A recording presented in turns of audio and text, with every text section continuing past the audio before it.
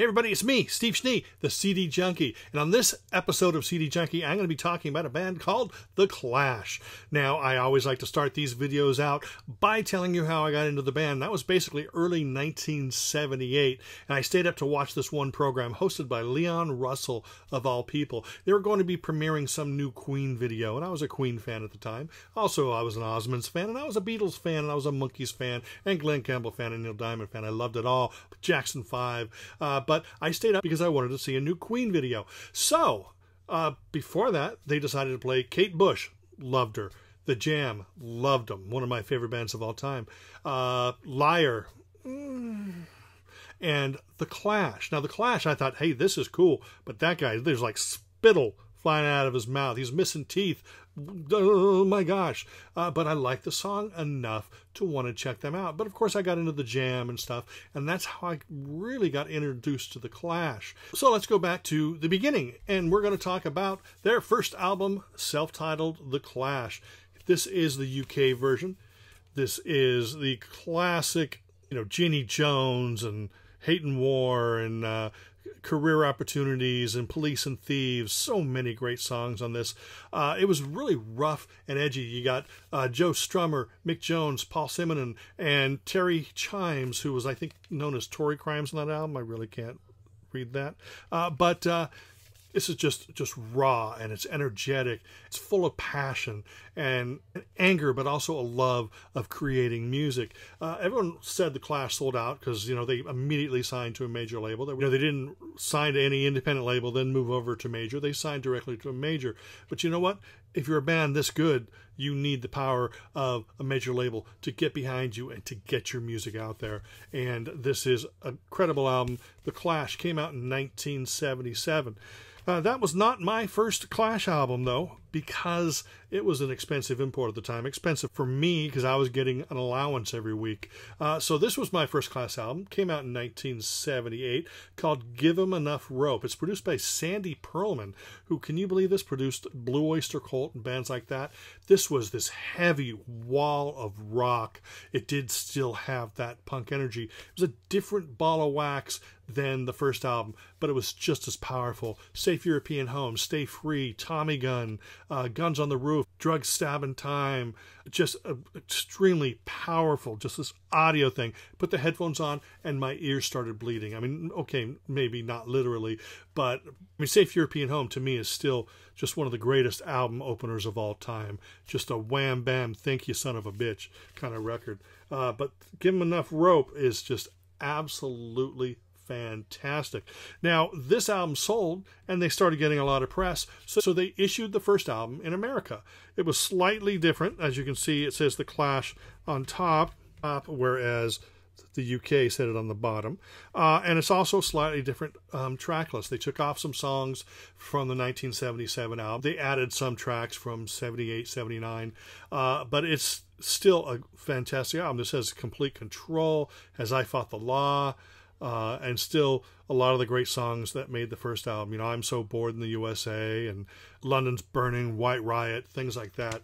Uh, this is absolutely stellar. This came out in 1979. The end of 1979 came one of the greatest albums of all time. That's right, I believe that. London Calling. What an incredible record. It sounded like The Clash but it didn't sound like anything that they had put out before. They went off into so many different directions.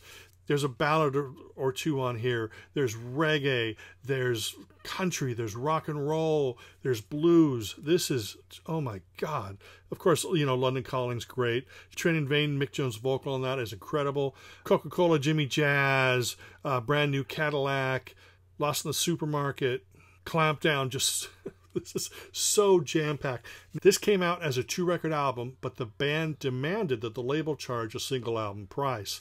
So, London Calling, one of the greatest rock and roll albums of all time. Just again, just take a look at those tracks. There's no bonus tracks here. Uh, there's a version of this that does have a bonus disc, uh, but uh, I do not have that one and this is absolutely stellar. London Calling, one of the greatest. Uh, I can still listen to this, and it just takes me right back to 1979, 1980. Of course, that did really well. And there were still some singles, A and B sides, from the UK that hadn't been released in the US. So what they did is they put out a 10 inch EP called Black Market Clash. They put that out on CD and they called it Super Black Market Clash, and they added even more material. This has, again, some of my favorite Clash songs. This has One Two Crush on You. It has Capital Radio. I actually prefer Capital Radio second version. Uh, that starts out with this beautiful acoustic guitar uh, intro and then just kicks into that powerful Clash sound. Uh, and of course, uh, this has Gates of the West, another one of my favorite songs, The Prisoner. This just gathers a lot of stuff together. I wasn't going to feature any compilations on here, but for us Clash fans, this really isn't a compilation. This is just another great Clash album. And later that year, of course, the Clash were on a roll. They put out yet another epic album. It's called Sandinista. This time it was a three record album.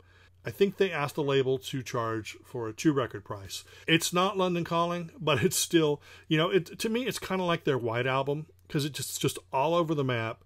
Uh, a lot of it's experimental. A lot of it could have been left on the cutting room floor, and uh, it could have been a, a, a great two record album. But then, you know, here it is 40 years later, and we'd be begging for the label to release all that extra material.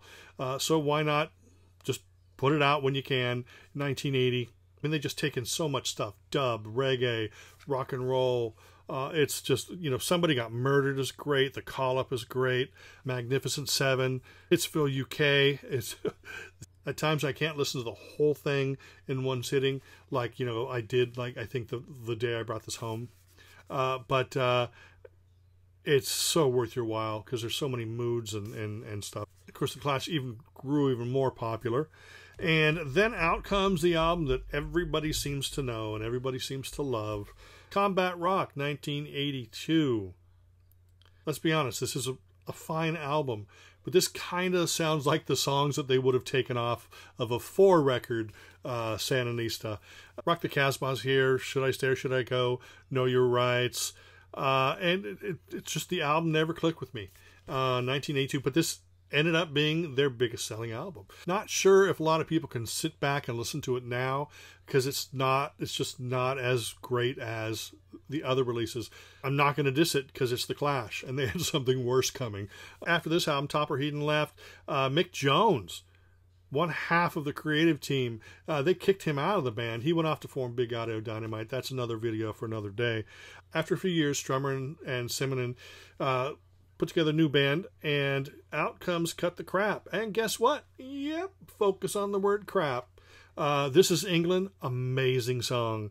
Uh, and I can't tell you anything about the rest of the albums. I've tried to listen to this uh, many, many times, and I have it because it's The Clash, and I wanted to have a complete collection. Now, I don't have any compilations with me. I don't have that big box set. Uh, I just wanted to focus on these albums and they kind of have shunned this album.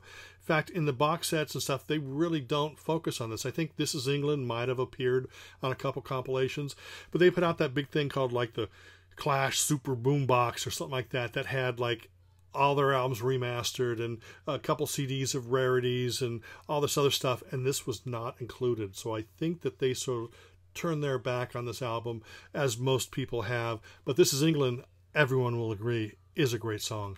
Uh, anyway, that is it for this video on The Clash. Um, I hope it inspires you to go out and get some stuff. I mean, even London Calling, Give Them Enough Rope, self-titled Super Black Market Clash, anything but this. Combat Rock is friggin' London Calling compared to Cut the Crap, I'll tell you that much. Uh, but anyway, that is it. I appreciate you hanging out and listening to me babble about The Clash. Remember to like, comment, share, subscribe, because that helps me get my videos out there. Uh, I appreciate you. Remember me, I'm Steve Schnee, the CD Junkie.